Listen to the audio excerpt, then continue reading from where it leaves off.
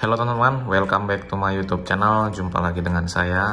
Kali ini saya akan coba jawab pertanyaan teman-teman yang masuk ke dalam kolom komentar. Apakah mebendazole boleh digunakan pada ibu menyusui?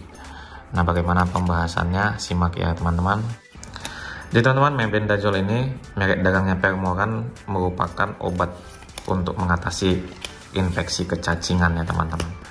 Nah, sini ada data-data cacing-cacing yang boleh uh, digunakan dibasmi dengan menggunakan obat ini. Ascariasis, Trichuriasis, Enterobiasis, Ancylothomiasis, Nicatoriasis infeksi cacing campuran ya teman-teman.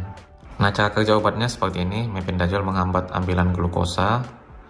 Nah yang menjadi pertanyaan boleh nggak digunakan pada ibu menyusui?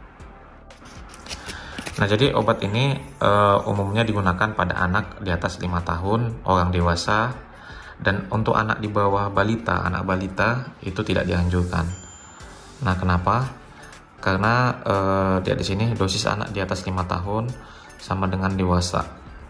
Nah, obat ini tidak boleh digunakan untuk anak balita. Jadi selama menyusui nanti obat ini akan tersekresi kepada bayinya sehingga tidak dianjurkan ya teman-teman untuk ibu yang sedang menyusui. Nah, teman-teman boleh berkonsultasi dengan dokter untuk mendapatkan pengobatan selama menyusui. Nah, semoga bisa menjawab ya teman-teman.